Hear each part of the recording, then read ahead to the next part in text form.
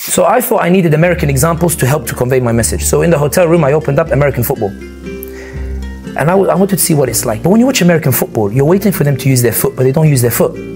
What happens is they start holding the ball, they throw the ball under their legs, and the guy catches the ball with his hand. And then he throws the ball with his hand. And the guy running catches the ball with his hand. And he does touchdown with his hand.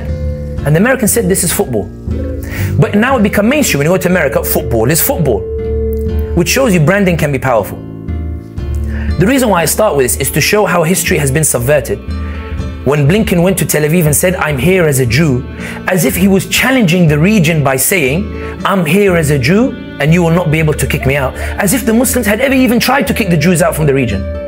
As if he was trying to rebrand a history that is unique to the region, whereby when Umar ibn Khattab ta'ala an, entered Jerusalem al-Aqsa, he found that it was the European anti-Semitic Romans who had kicked out the Jews from Jerusalem, and Umar al Khattab was the one who granted safe passage for them to come back.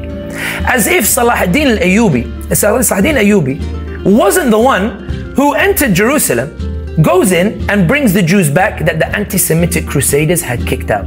As if it wasn't Sultan Bayezid of the Ottomans who when the anti-Semitic Isabella of Spain kicks out the Jews and Muslims from Andalusia, as if somehow Blinken is talking, as if it wasn't Bayezid who sent the boats to to Spain to pick up the Jews and bring them back to the haven that is the Muslim lands that was established during the time Umar ibn Khattab and Muhammad sallallahu when he made the Treaty of Medina and also Salah ad-Din Ayyub. As if Blinken was saying, I'm here as a Jew, as if somehow this isn't the region where after the Holocaust, when the Jews thought, where can we go for safety?